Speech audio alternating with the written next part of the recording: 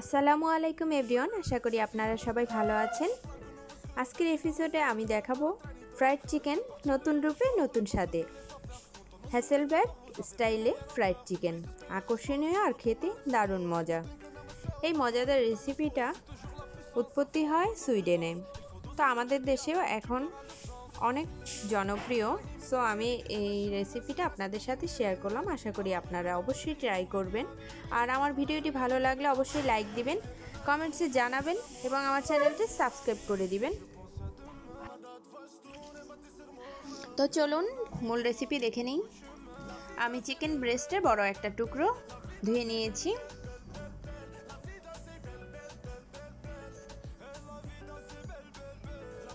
এরপর দুই সাইডে দুইটা কাঠি দিয়ে, এরপর ছুরি দিয়ে কাটতে হবে।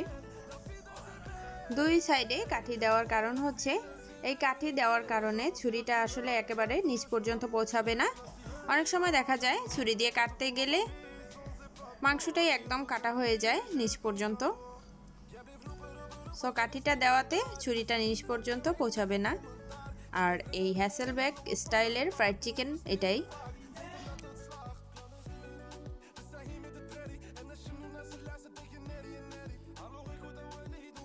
তো এই তো। আমি পাশাপাশি একটু পরপর কেটে আটটা দাগ দিয়ে তারপর ছুরি দিয়ে কেটে নিলাম।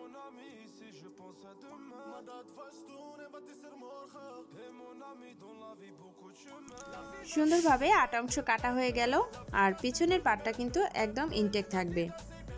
এরপর কাঠি দুইটা আপনারা সরিয়ে ফেলবেন।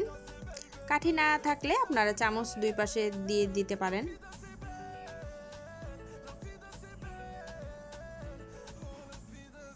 এরপর চিকেনের ভিতরে থাকা বাড়তি পানিগুলো আমি টিস্যু পেপারে এভাবে চেপে চেপে মুছে নিচ্ছি।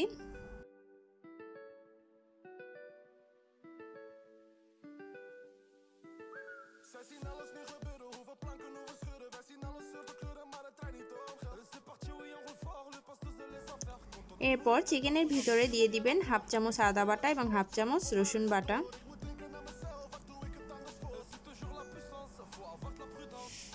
আমি সবসময় আদা, রসুন একসাথে বেটে নেই সো একসাথে দিলাম। এরপর দিয়ে দিয়েছি হাফ চামচ গোলমরিচের গুঁড়ো। দিয়ে দিবেন হাফ চামচ বা এর থেকে কম দিতে পারেন বাচ্চাদের জন্য তৈরি করলে লাল মরিচের গুঁড়ো। দিয়ে দিয়েছি দুই চামচ সয়া সস এটা লাইট সয়া সস ছিল। এরপর হাত দিয়ে ভালো মতো মেখে নিতে হবে উপকরণগুলো।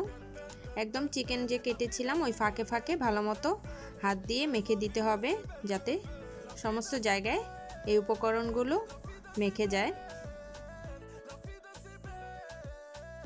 আসলে মেরিনেট করার কোনো প্রয়োজন নেই। আপনারা সুন্দর মতো এভাবে একদম ভিতরে যেন সব মশলাগুলো ঢুকে এভাবে হাত দিয়ে ভালো মতো মেখে দিবেন। হ্যাসেলবেক স্টাইল আসলে এটাই। আর এটা কিন্তু খুব মজাদার। দেখেন পিছনের পাট কিন্তু খুব ইনটেক রয়েছে একদম। তো এইভাবে উপর নিচের সব দিকে মশলাগুলো মেখে নেবেন।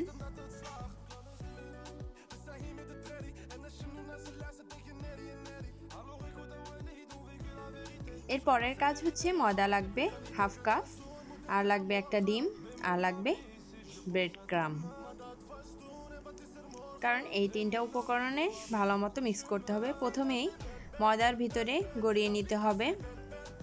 আপনারা হাত দিয়ে প্রতিটি পরতে পরতে যাতে এই ময়দাটা ঢুকে এরকমভাবে মিক্স করবেন। ঘুরিয়ে ঘুরিয়ে ভালো মতো ময়দাটা যেন লেগে যায়। ঠিক সেরকমভাবে করে নেবেন।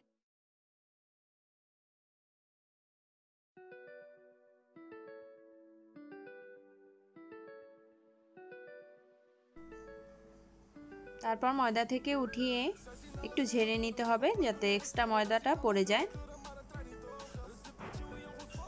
এরপর ডিমের ভিতরে চুবিয়ে নিতে হবে। আমি ডিমটাকে একটু লবণ দিয়ে ফেটিয়ে নিয়েছি।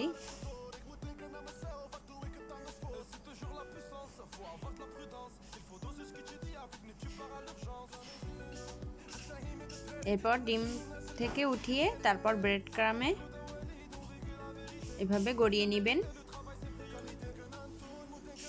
এবং হাত দিয়ে উপরে নিচে ভিতরে সব জায়গায় যেন ভালো মতো উপকরণগুলো ঢুকে এবং লেগে থাকে, এভাবে আপনারা হাত দিয়ে করে নেবেন সুন্দর মতো। তো ব্রেড ক্রাম মেখে নেওয়ার পরে এরপর উঠিয়ে নেবেন। এবার ভাজার পালা। ফ্রাই প্যানে তেল গরম হলে আস্তে করে এভাবে দিয়ে দিবেন। একদম মিডিয়াম আঁচে থাকবে। তো একটু ধৈর্য ধরে ভাজতে হবে, না হলে উপরে কালারটা চলে আসবে, কিন্তু ভিতরে কাঁচা থেকে যাবে। তাই একদম মিডিয়াম লোহিটে আস্তে আস্তে করে ভাজতে হবে। এক পাশ হয়ে গেলে তারপর আরেক পাশ উল্টিয়ে দিবেন।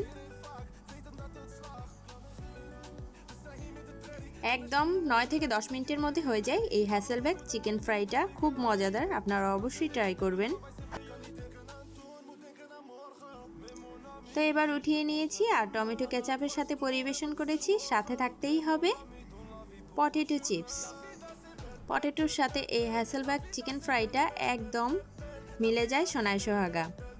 আর থাকতে হবে পটেটো ফ্রাই বা পটেটোর সাথে কিন্তু এই মজার রেসিপিটা অবশ্যই আপনারা সার্ভ করবেন। তো ফ্রেঞ্চ ফ্রাইয়ের সাথে অনেকে খায়। আমি কিছু পটেটো ঘরোয়াভাবে ভেজে নিয়েছি।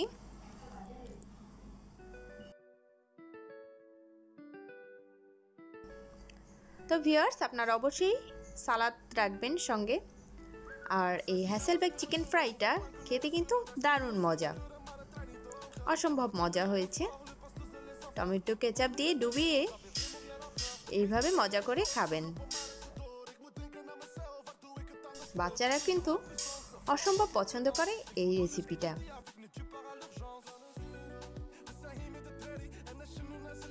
ভিউয়ার্স, আমার এই রেসিপিটি ভালো লাগলে আপনারা অবশ্যই বাঙালি পরিবার ব্লগার চ্যানেলটি সাবস্ক্রাইব করে আমাদের সদস্য হয়ে যাবেন আর আমাদের বন্ধু হয়ে পাশে থাকবেন। সবাই ভালো থাকবেন। আল্লাহ হাফেজ।